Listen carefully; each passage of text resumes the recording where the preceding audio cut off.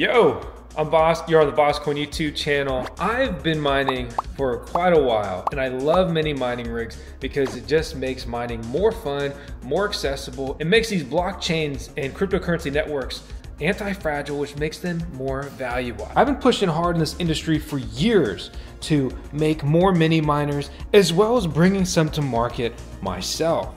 So when Canaan said, hey, Vosk, we got a mini miner ready. You want to review it? Yeah, dude. 2.4 to 4 terahash a second with 10 OEM 4 nanometer chips with three different hashing modes, consuming no more than 140 watts of electricity in its highest power mode. Very quiet with a fan that never makes more than 36 decibels of noise. It's coming in at a weight of less than 2 pounds. The size of like maybe an iPhone Max or one of those nano iPad things. It runs under 100 Fahrenheit max temperature, and that's on the chip, so that's pretty cool as far as a mini mining rig for your home goes. It has Wi-Fi capabilities, yep, plug it in anywhere. Use any outlet around your house as long as you got Wi-Fi reaching that area, this thing can start running the secure hashing algorithm 256, the Bitcoin BTC mining algorithm. And you fiends wanted RGB? Well, congratulations, there's an RGB strip in here. There's even a removable fan shroud. But if that wasn't enough features for you, how about coming in at a price point of $99, less than $100 to get a Bitcoin mining rig that earns more than it burns in electricity? I'm intrigued. Are you?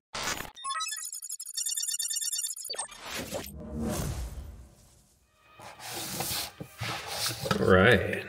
The Canaan Avalon Nano. Apple-ish unboxing experience there. We have the black one.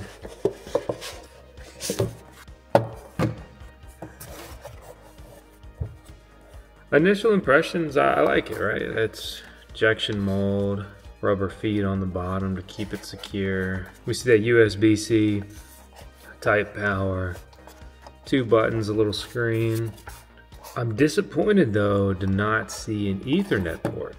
To my surprise, this is just a magnet. I don't know if I love that or find that weird. We see some big heat sinks sitting on those ASIC chips. So I received this box directly from Canaan. It's not that big of a box. In that box, I also received this 65 watt power supply as well as this 100 watt power supply.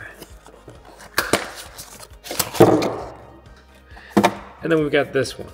I'm surprised to see two different power supplies. More powerful one is like three times as heavy.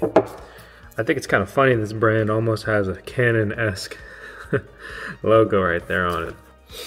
So I'm gonna go ahead and use the big boy USB-C connected. Got a plug over here, corner of my workbench. Oh, yeah.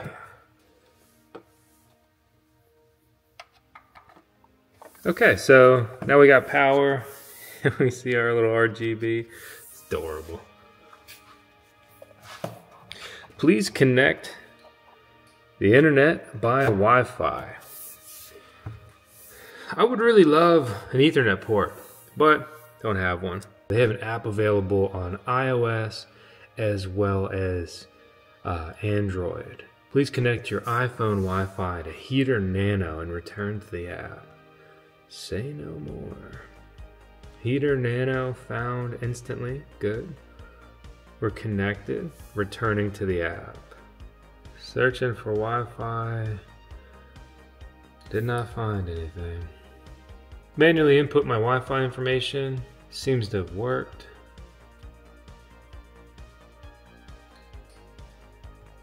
Connecting back to my actual Wi-Fi. And now I've got control and access here into the device. It looks like we're on low because it's a darker color. Let's click medium. Looks like we've successfully changed to medium. Lights on. Lights off. Let's go loop.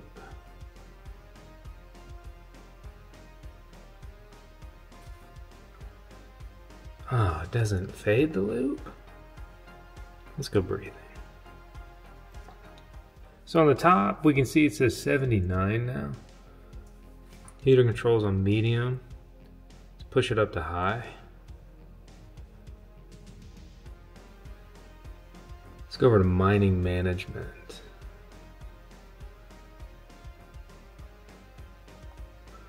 So here we can see that it automatically connects to Braiins. And their information is already in here. So I'm also on Braiins.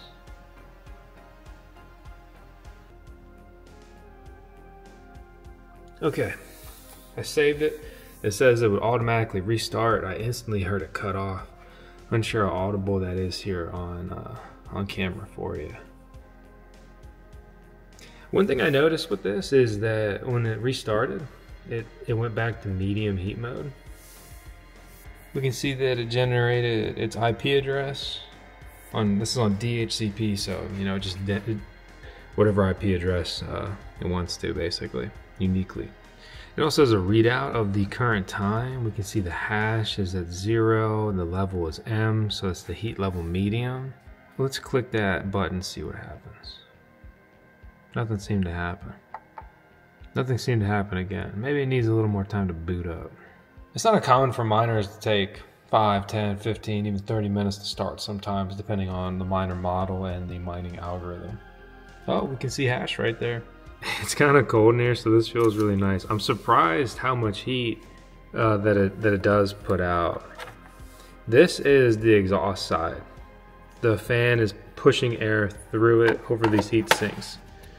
Uh, so no heat anywhere else. Intake, exhaust. So I already had a Braiins mining pool account, so I just put my information in. However, each Avalon Nano 3 comes with a QR code for registration uh, for a mining pool account. The Stratum URL of the Braiins pool, including the username, has been configured and will match your account automatically uh, per their documentation. So basically, they've tried to make using this miner easy mode, but I've already got an account, so I'm just going to use the one I have. All right, I normally have 27 miners online in my Braiins uh, dashboard uh, here on the Braiins Bitcoin mining pool, formerly Slush Pool, right? And is revered as the original Bitcoin mining pool. We go to my workers and let's sort them by hash rate in the last hour. And the lowest one is the nano. The nano is here. It's already showed up on the Braiins mining pool. So it hasn't been online for an hour, so the average hash rates there aren't really accurate. Uh, you can see the hash rate over the last five minutes is 2.8 terahash a second, and per the device, it is currently hashing at about 3.3 terahash a second. Again, this is just coming online, so I don't find that discrepancy odd or unusual. My initial impressions of the Canalon, Canalon, jeez, the Canaan Avalon Miner Nano. This is cool. It's I'm a big proponent of mini miners, so I love to see a mini Bitcoin miner. Right? Is this going to be the most profitable Bitcoin miner in the world? I obviously not right? You're going to be spending five grand, four grand uh, right now on a latest generation full size Bitcoin miner. And uh, you're going to need 240 voltage. It's going to be big. It's going to be hot. It's going to be loud. You're going to need dedicated electric uh, circuit. You're going to need PDUs. You're going to need the right power cables. You're going to need Ethernet, right? Those things still don't support Wi-Fi. Uh, you look at this. You get it. You set it up in two minutes and uh, you start mining Bitcoin. This is the price point here is so low. That's an incredible thing in its own right, right? I mean, this is a sub $100 technically device. It's going to plug into any outlet in anyone's home throughout the world. Uh, so the accessibility there is unparalleled, right? If if I was in an office, granted we're kind of in the work from home era, I'd love to have one of these on my desk, right? Be like, yeah, yeah, Bitcoin. You Bitcoin? oh, it's too bad. I might have Bitcoin right here. at my desk. Last time we saw something like this was the FutureBit. Uh, this device seems to be much better than the FutureBit out of the box. Uh, FutureBit couldn't meet demand. It was very expensive uh, for what it was. And the coolest thing about the FutureBit Apollos was the fact that it had a built-in Bitcoin node as well. But I had issues with my node on that device, so didn't really get to reap those rewards long term. And so it's the Canaan Avalon Nano Mini Bitcoin Miner. Again, at a price point of $99 earning more than it's burning in electricity if your electric rate is less than 12 cents per kilowatt hour. It uses USB C for the power, plugs into any outlet around the house, and has Wi Fi capabilities. At the surface, it's interesting. It has an app. The setup honestly took me two minutes. And while this Bitcoin miner may not be for everyone, especially hardcore Bitcoin miners, this actually applies to more people than the average full size Bitcoin miner ever will. And there's a beauty in that. How's this thing going to work long term? Well, if it's anything like my other Canaan Avalon miners, it should be good. Uh, my, my Canaan Avalon miners have been good miners, good devices um, in my experience mining Bitcoin. I hope to have kids sooner than later, but if I had kids, they would be getting these. The price point is realistic, right? To buy your kid a $500 mini Bitcoin miner that's not that profitable, that will probably never even break even, is not realistic or feasible.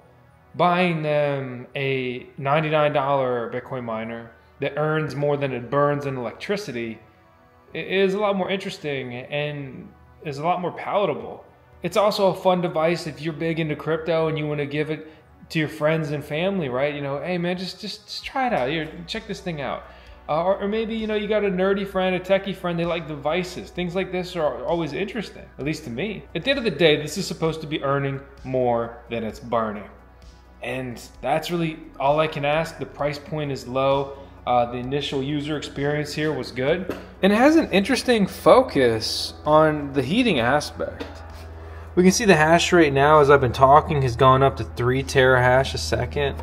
Uh, the level is still here on M. One thing I, I incredibly dislike about this uh, device and screen is it keeps showing me the logo and the name.